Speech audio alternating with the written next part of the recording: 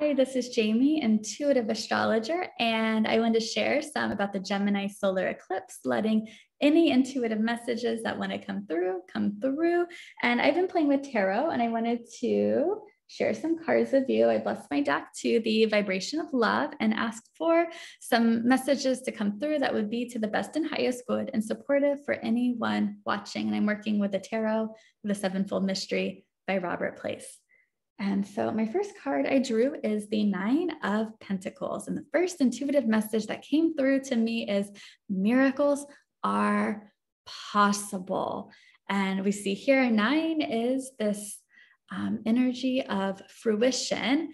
And the amazing thing about this card is we see this fertile, lush tree you know abundant with the with the you know with the coins that are growing from the barren land. And so this is this is like the magical gemini energy i'm sensing into is that like how can we hold space for the new possibility and from having a very fertile inner environment we can actually you know holding the energy holding the vision um, holding the dream there can be this powerful rippling out from all this amazing gemini energy that we have been experiencing. And yeah, I think that's what I want to I think that's what I want to share about that. You know, and the the coin is about physical manifestation. So, you know, first first we have to hold vision, we have to hold space for the possibility. And Gemini invites us to kind of step back and hold space for the possibility that's available in the moment, the new realities, the new potentials. And when we're connected to that, then we can align with new ways of reality. This really is a time we can take some quantum leaps forward in our consciousness, you know, do some multidimensional timeline surfing because everything really is vibration. And the air element, which this, you know, all this energy is happening in, is uh, connected to energy. Like you can see in the Aquarius glyph, which is another air element sign, you know, the glyph is the waves. Those are energy waves. And so also I pulled the Lady of Swords here. Swords, the air element, you know, just like Gemini. So it makes sense. And she's playing the music of the celestial spheres. We can see the stars that she's wearing. And this is just for me the affirmation of really having that clear channel to receive the music of the celestial spheres. There's so much noise has so much information coming down the information stream in the collective that it, can be you know it can be almost overwhelming. It can sound like that you know like cacophony of sound. And so it's like how can i create a really clear inner channel you know with my mind with my breath really creating that clear energy channel to receive the pure clear messages from the from the stars, from the heavens, from the celestial spheres. And so, um, and I love that, you know, she's playing the lyre um, because Mercury is right with the sun and moon for this eclipse and mythology. Mercury, you know, invented the lyre and it's a way to strum to, to play, to bring through the music of the celestial sphere. So, how can we have a clear channel to bring in the clear messages from above, you know, and from the earth below, having them meet in our hearts? And then I also drew the Queen of Swords. So, another air elemental sign. Um, so air element connected to Gemini, we see the swords, one sword going to the sky, one sword going to the ground. Almost looks like that Gemini glyph with those two pillars, you know, in the Gemini glyph, which can represent duality, um, choices. Um, it can, you know, heaven and earth, all these different types of duality that we experience. Um, I heard um, Denise Real share, it's like also the breath, the breath, you know, the movement of the breath with those two pillars as well, which I love. And then we see the uh, feathers of truth, the feathers of justice here. And so for me, the biggest message coming through is that there are, there's always two different perspectives. I think there's actually like um, an infinite amount of perspectives in every moment, but there are different perspectives. So really being aware of um, these different perspectives, that there are more than one perspective. And it's like which one feels most aligned to us. So there is some element of choice. Um, there is some element of different perspective here. Um, yeah. And to me, actually, the biggest intuitive message that's coming through is really honoring the feminine way of perceiving reality. Um, because Venus started her cycle in Gemini in June 2020, and she has a 19 month cycle. So, this whole cycle, we're still here. There's been this overall kind of energy of Venusian Gemini energy, which the main themes are the integration of the mind and the heart. Um, perceiving, right? Perceiving from our hearts, relating from our hearts.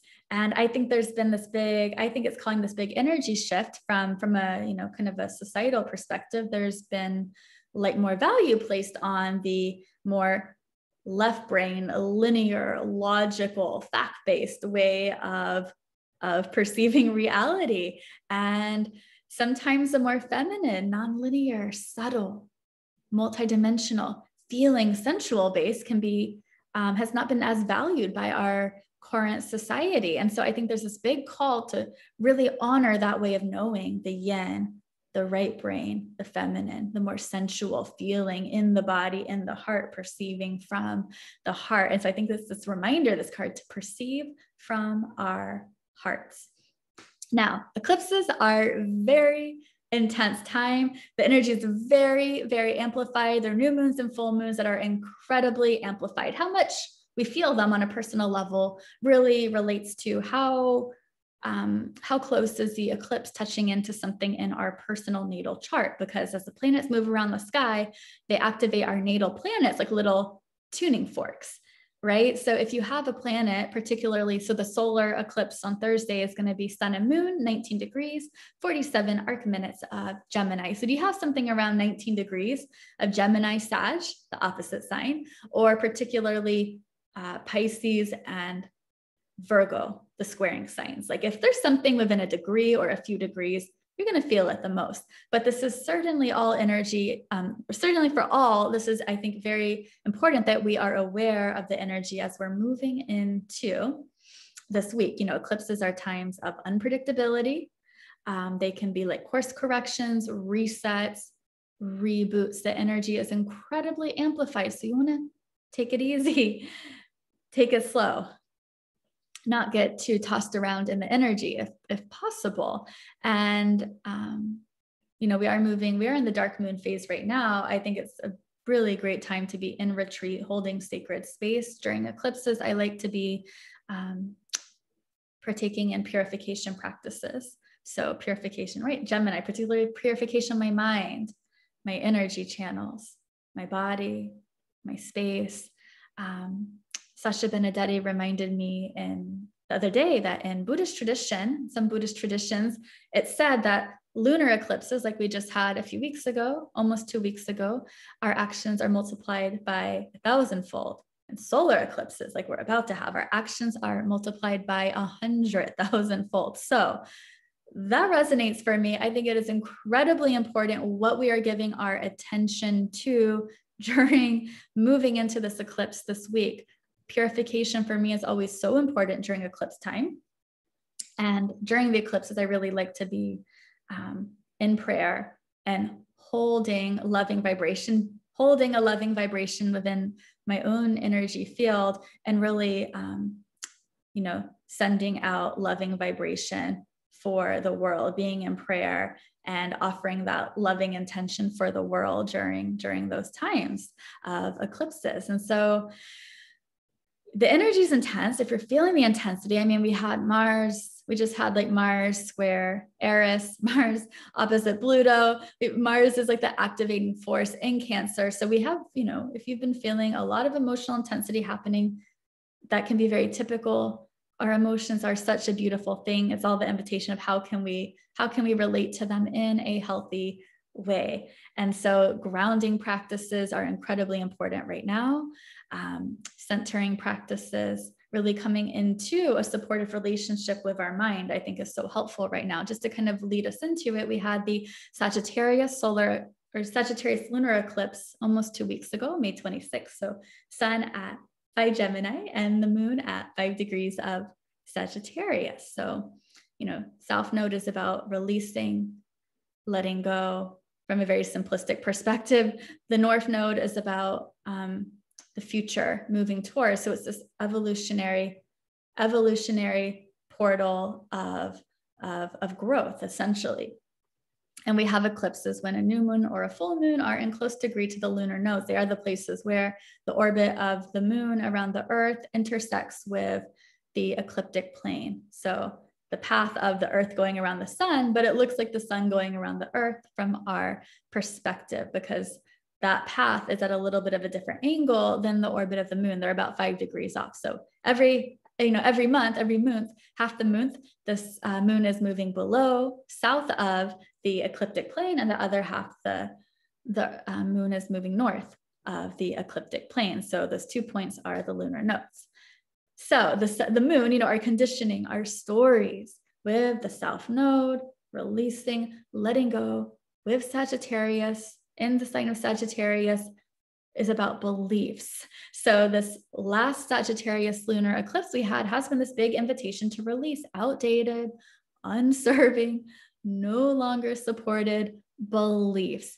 Um, where are we? Where are we getting uh, caught up on? You know, attached to truth that we are thinking is actually like objective truth that is actually personal truth that's separating us away from others. Like this is a call to release all that where we are separating and dividing over truth. That South Node is really bringing attention to that and an invitation to release it. And you know, our beliefs really do color our perception, which brings us right to the North Node and Gemini. The North Node, you know, the nodal axis, South Node Sagittarius, North Node Gemini has been in these two signs since May 2020. South Node is about releasing these old beliefs, dogma, hubris, uh, hubris self righteousness. And so um, the North Node in Gemini is about rewriting our story on a collective and a personal story, a personal level. What story do you want to rewrite in your life? And so this is a very powerful time because the North Node is so activated right now what story do you want to write in your life? And this Gemini energy is an invitation to hold space for new possibility, new beginnings, um, new perspective, you know, approaching the moment from a beginner's mind. It's inviting in new learning to be playful. We have such an energy, so much medicine and learning how to be playful through the intensity. And this is not to dismiss the intensity, the heaviness. Um, but how can we also hold space for and and and, and have medicine of sacred play and being connected to the sweetness of life even when everything feels very intense and and heavy yeah just tapping into i'm just tapping into what i'm what i'm wanting to say i think the biggest messages for this eclipse are being very aware of our i mean to me the most important thing is being aware of what i'm thinking what i'm speaking and my energy because those really do create our reality. And Gemini is the sign of the cultivation of the mind, thinking, speaking, relating. And so Mercury's right with the solar eclipse. So the solar eclipse is at 1947. Gemini, Mercury's at 20 Gemini, the time of the eclipse. And later that day, Mercury moves between the earth and sun. So um, this is actually like our mind, what we're thinking, is incredibly important. What we're giving attention to, being very discerning of the information we are letting in our mind right now is so important. This is not to like keep, you know, I'm not suggesting we keep our head in the sand, that we don't know what's going on in the world, but also we don't have to take in information all the time. And what our vibration is, this is more, to me, this is more about energy of holding space for the new reality that you want to live in, the world that you want to live in. And we don't even have to know the ins and outs of how it looks. This is more about just the, the feeling into the vibration, um, because the vibration does ripple out and create everything. And so, what we're giving our attention to this week is incredibly important. And, you know, there may be things coming up that want to be burned off from our unconscious, and that's beautiful. We don't need to suppress, we don't need to deny. But what I am suggesting is that we are very mindful of what we're giving our attention to and what our energy is this week. Like that feels so, so important, incredibly important. Um, because Gemini is so connected to energy, everything is so amplified. So, for example, you know, um, instead of like focusing on what it is that I don't want in my life, focus on what I do want in my life because then we're giving energy to that. And I think it's important that we're very connected to our hearts on anything we're envisioning and holding space for as well. And then, you know, things can be kind of murky, murky, nebulous, confusing. Um, Gemini, North, Gemini, Sun, Mercury are all square to Neptune and Pisces at 23 Pisces. So anytime like Mercury, you know, um, squares Neptune, things are not going to be what they seem with the logical linear mind. If we're really connected to the logical linear mind things are definitely not going to be what they seem. Um, also mercury's retrograde so it is this reorientation rethinking revisiting re- revising with our thoughts. So we are in this big rewiring of our brain essentially and um, so you know things can be things can be a bit more unclear and the energy does feel very watery. We also have like Venus and Cancer, Mars and Cancer, you know, Neptune and Pisces. There's so much mutable energy. I mean, things are so malleable with a mutable energy. Truth, reality, perception is so malleable. Um, but so with uh, also Sun, Moon, Mercury squared to Neptune, there's this dissolving energy. So Neptune is dissolving of the mind, essentially, um, which ties back to this. We've had this big release with the Sagittarius lunar eclipse of old beliefs. So there's more dissolving of the mind. Mercury's in retrograde, which is this reorientation. Now Neptune's dissolving, so dissolving of the linear, the logical mind. And so um, there is this invitation to connect into perceiving through our hearts Neptune is um, considered, you know, like the higher octave of Venus. I don't really like using like the words higher and lower, but they're like the same energy, just different octaves. Venus, personal love, Neptune, cosmic love. Um, Venus, like our personal values, right? Neptune, like these like cosmic kind of values. Um, Neptune, Pisces, there is no words, there is no names. Um, everything is just all one. It is that that divine love. Neptune's also connected to the imaginative dream etheric realm. So there is this dissolving of what's linear what's known and connecting to this imaginative. So if we can connect to the imaginative the dream um, realms the celestial realms there's this very powerful opportunity. You know jupiter's beginning of pisces jupiter's beginning to station retrograde. So there is this redreaming kind of energy. Um, there are new possibilities that we can tap into. There are more realities available than we than we tend to think. And so how can we feel? I think it's more about dropping into the heart perceiving from the heart feeling from the heart. And mercury you know there's this amazing alignment with this eclipse sun or earth moon mercury sun. Now mercury is not on the ecliptic so mercury is not going to occult the sun like the moon will but mercury the messenger is still there. When mercury comes in between Earth and Sun, Sun, solar, life force energy, we get an inspiring message that's sent to us. So make sure we're open to receive that message. This is a very receptive, receiving time.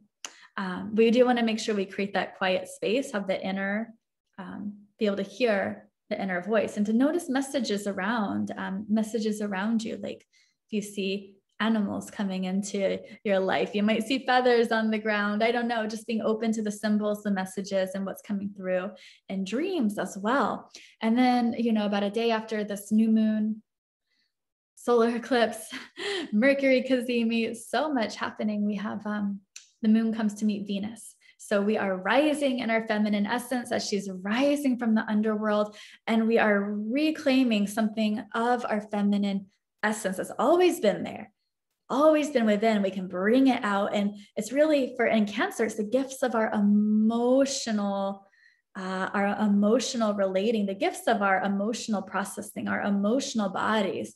And that's something that's been very um, you know our emotions have been very like vilified and and and so much of society is like no our emotions are beautiful. So how can we connect to the gifts of our emotions and really shine shine through through this um you know venus and cancer can make us more sensitive um, and that's a beautiful thing. So we do, it's all about how we're relating to it, right? We don't want to be completely tossed around in our emotions. We really do have a choice in how we're relating to our mind and our emotions, even though we might not always realize it. And we all experience the full range of emotions. Um, you know, how can we nurture ourselves? You know, our values come very much about our emotional well being, nurturance, um, how do we care for our loved ones? How do we care for our loved ones in our relationships with Venus and Cancer? Starting with how do we care for ourselves? And Jupiter stationing to go retrograde, Neptune's pretty much stationing to go retrograde well. We have a lot of retrograde energy, a lot of